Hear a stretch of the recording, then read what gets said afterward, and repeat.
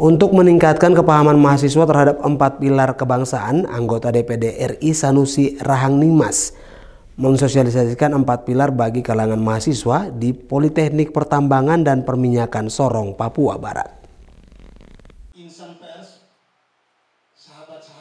Dalam materi sosialisasi yang dibawakan anggota DPD RI, Sanusi memaparkan tentang empat pilar yang di dalamnya adalah Pancasila sebagai dasar dan ideologi negara, Undang-Undang Dasar Negara Republik Indonesia tahun 1945 sebagai konstitusi negara, serta ketetapan MPR NKRI sebagai bentuk negara dan Bhinneka Tunggal Ika sebagai semboyan negara kepada mahasiswa.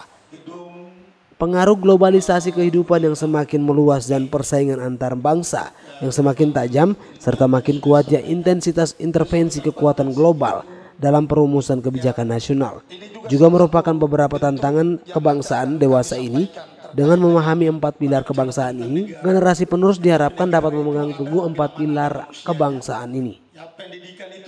Empat pilar ini tetap uh, difahami, dimengerti, kemudian dihayati oleh setiap warga negara karena yang dikhawatirkan itu lama-kelamaan hilang-hilang sedikit-sedikit. Ya.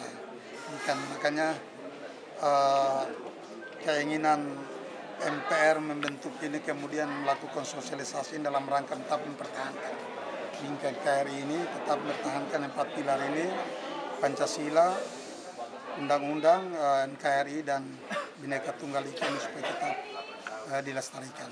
Karena tidak seperti ini dalam ruang diskusi ini, mahasiswa terlihat antusias menanyakan berbagai pertanyaan tentang negara kepada legislator Papua Barat tersebut. Diharapkan empat pilar ini menjadi pegangan bagi generasi penerus demi menjaga keutuhan NKRI. Flora Batlagiri, Kompas TV, Sorong, Papua Barat.